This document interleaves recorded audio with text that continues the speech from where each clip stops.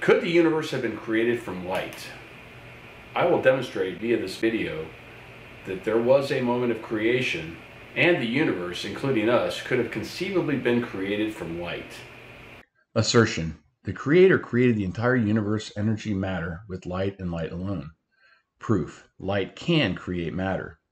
When two photons, what light is made of, collide, they create matter.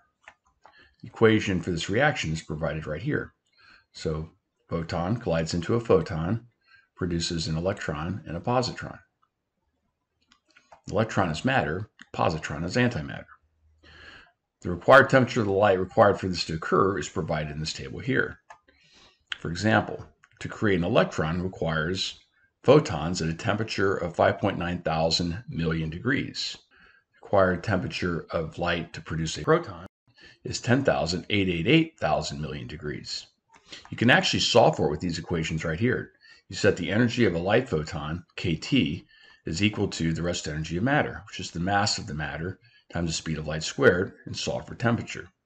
So if you plug in the mass of an electron right here and solve for temperature, you get this number here, 5.9 thousand million degrees.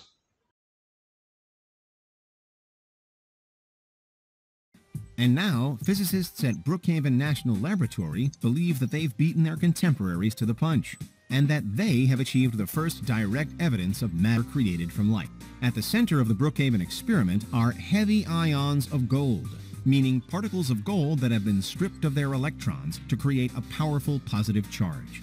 In the experiment, the full details of which were made public in July 2021, the charged ions were accelerated to 99.995% the speed of light inside the relativistic heavy ion collider.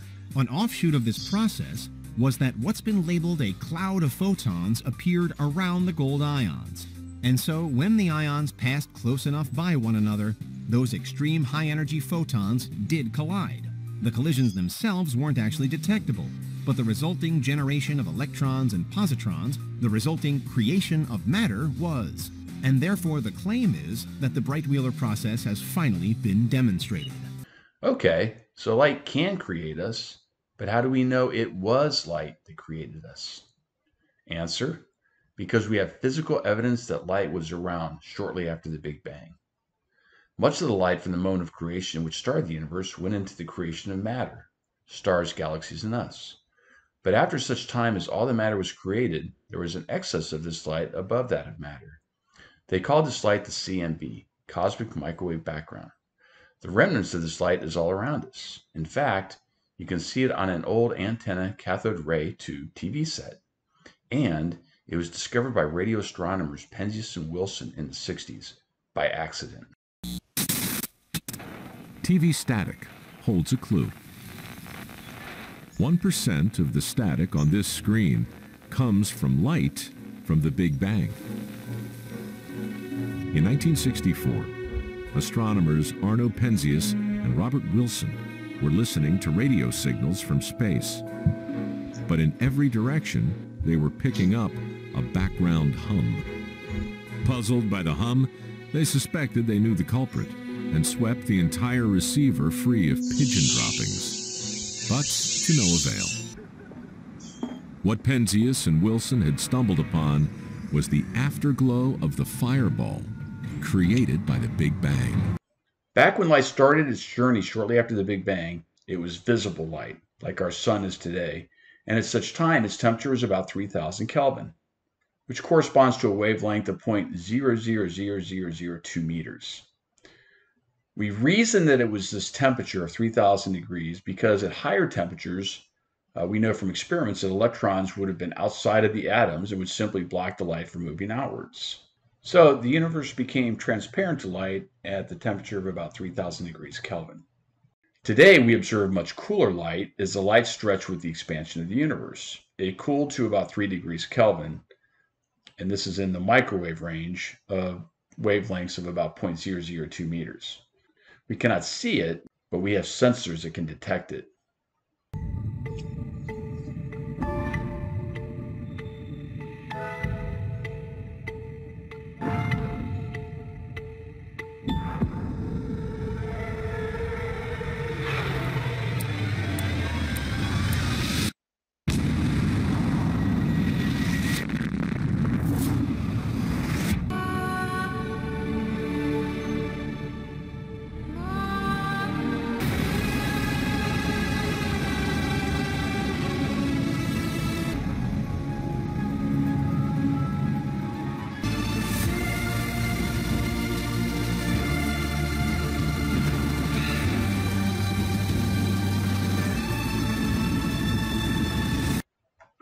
So this image demonstrates the temperatures of the sky from the exoslide of the creation, the CMB.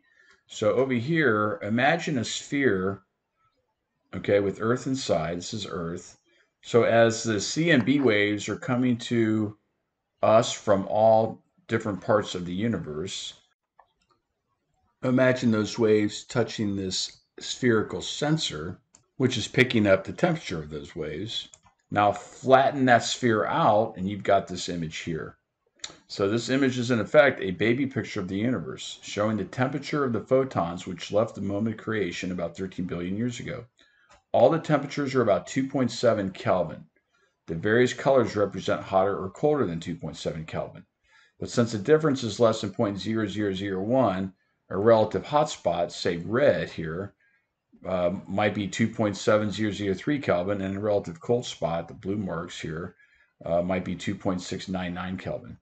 So to a high degree of accuracy, all light coming to Earth uh, is coming from the same source. And we think it's the light from the Big Bang.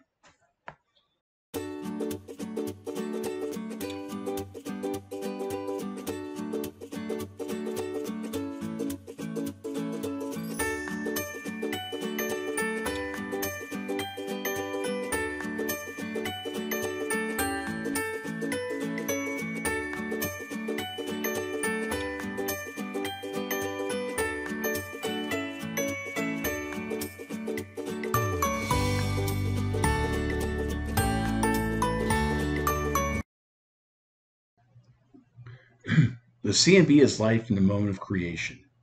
So here's some additional proof. The excess CMB light was necessary to explain the amount of hydrogen and helium we observe in the visible universe today, which is about 74% hydrogen and 24% helium. This idea was actually proposed decades before the CMB was actually discovered. So here's the argument. Continue to rewind the universe creation timeline.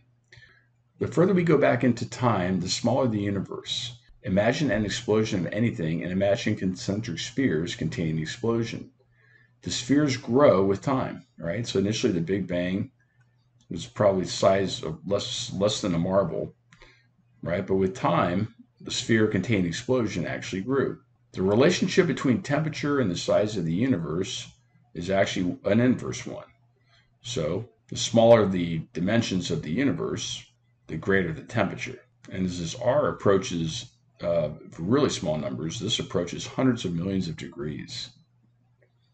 So if you rewind time, the further you go back into time, the hotter the universe.